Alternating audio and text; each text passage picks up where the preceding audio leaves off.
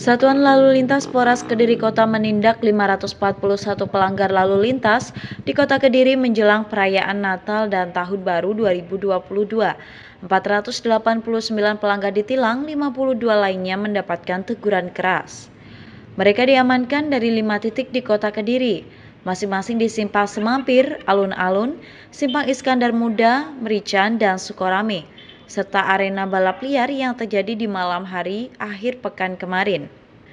133 motor di antaranya harus disita karena menggunakan knalpot brong yang tidak sesuai dengan standar pabrik.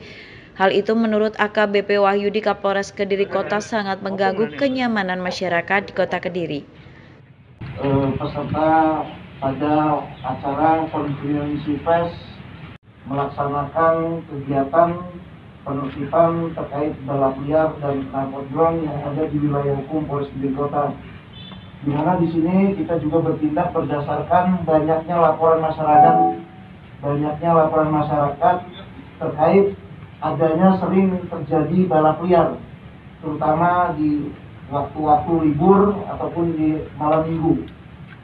Kemudian juga selain itu banyak juga laporan terkait adanya kebisingan ya jadi warga kota Kediri ini sangat terganggu dengan adanya knalpot belum ini, di mana kita ketahui bersama mungkin rekan-rekan juga mengalami yang rumahnya dilewati oleh kerja eh, kelompok-kelompok tersebut yang sering memainkan knalpot, kemudian secara bersamaan yang agak mengganggu lah ketertiban ataupun kenyamanan warga kota Kediri.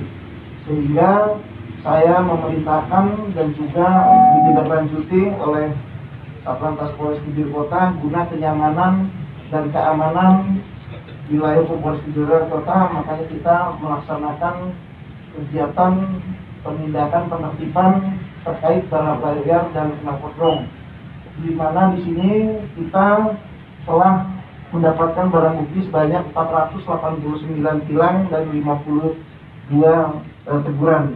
Seperti yang kita saksikan atau lihat bersama di depan saya ini ada Eh, contoh dari penilang dan juga ada contoh knalpot brom yang kita berhasil amankan. Sementara itu motor-motor ini baru dapat diambil setelah selesai proses persidangan dan pembayaran denda putusan di Kejaksaan Negeri dengan mengganti under deal standar. Dari Kediri, Yanuar Dedi, KSTV.